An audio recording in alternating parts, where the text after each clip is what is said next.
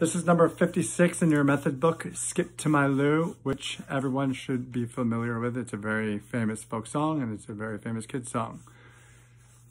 Be careful that you're counting with your foot and tapping your toes throughout this whole th song. And while you're tapping your toes, you're thinking one, two, three, four.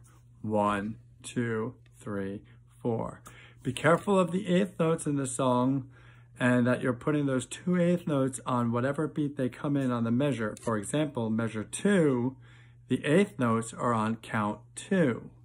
One, two, and three, four, followed by a half note, which gets two beats. So it's really important that you're tapping your toes to make sure you're playing the notes at the right time. Also, there's some dynamics. So once you practice this and you get the notes down, and once you've gotten the rhythm down of the song, you can then actually add the dynamics.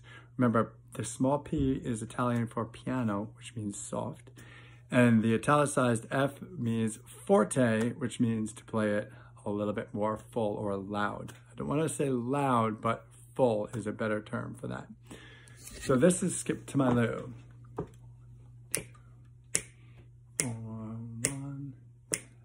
I'm gonna go at it about this tempo. One, two, three, four.